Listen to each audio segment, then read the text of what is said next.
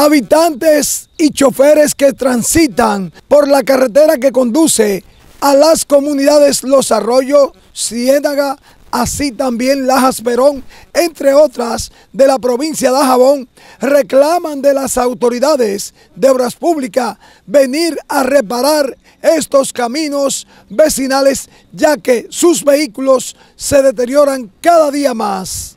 Uno ya pasa por aquí ya porque es una obligación de una finquita que uno tiene ahí. Por aquí no hay forma de transitar. Mire, ese hoyo de ahí, siempre vienen y prometen y prometen y nunca resuelven nada. Sí, sí, y se dañan, se dañan, dañando piezas, los camiones, los vehículos. No es fácil.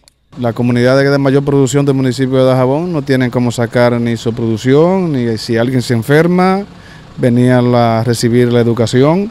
Es un desastre, las autoridades no se quieren ensuciar la mano con 18 kilómetros que es de aquí a, Piedra Blanca. Claro, claro que vengan auxilio de nosotros porque de, de, aquí se saca mucha producción y no, y no hay ni cómo sacarla ya porque esto no sirve.